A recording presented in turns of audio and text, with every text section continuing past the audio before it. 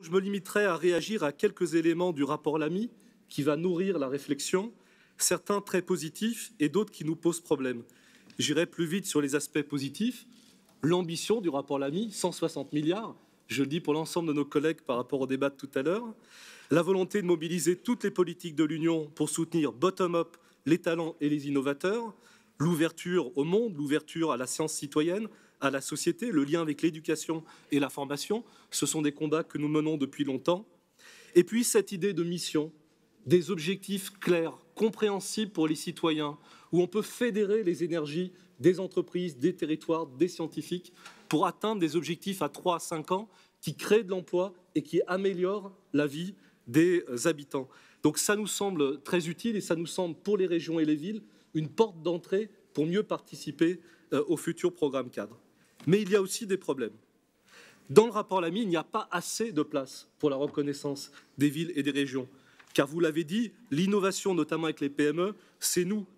L'excellence scientifique, elle plonge ses racines dans les territoires et elle s'inscrit dans une histoire locale. Les écosystèmes territoriaux d'innovation, ce sont eux qui, qui donnent le plus de possibilités d'aller le plus vite de la science vers les améliorations de la vie, la création d'emplois. Et quand les régions européennes se mettent en réseau, les meilleures d'entre elles, pour porter l'excellence, elles incarnent l'excellence scientifique européenne. Et ça, ce n'est pas encore assez marqué. Le lien avec les spécialisations intelligentes n'est pas encore assez fait. Le lien n'est pas non plus suffisamment marqué sur l'effort à faire pour les pays de l'UE 13 et pour les pays et les régions qui n'ont pas aujourd'hui suffisamment accès au programme cadre. Les écarts existants ne sont pas politiquement tenables. Nous avons besoin de solutions radicalement nouvelles. Et puis, dernier point, nous ne sommes pas sûrs d'être d'accord avec la vision développée par le rapport Lamy des synergies entre le programme cadre et la politique de cohésion. Parce que si je simplifie, quand je lis le rapport Lamy, je lis prendre l'argent de la politique de cohésion pour financer plus de projets sélectionnés par le programme cadre. J'ai du mal lire. Mais si c'était cela, nous serions obligés de nous y opposer. Et nous avons mis en avant cinq principes, les cinq C dans mon rapport que nous allons essayer de porter.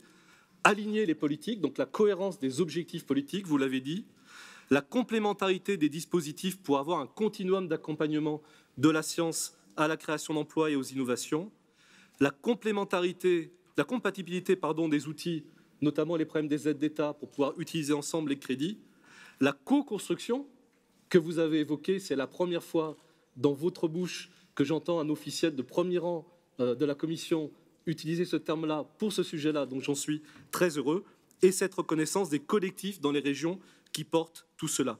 Donc oui, il faut co-construire, mais pas co-construire entre la DG Recherche et la DG Régio, co-construire entre la Commission et les villes et les régions, et c'est peut-être l'étape qu'il faut franchir pour le prochain programme cadre. En conclusion, designer ensemble l'avenir du programme cadre, co-construire les outils, vous, vous savez que nous serons à vos côtés pour aller dans cette direction-là.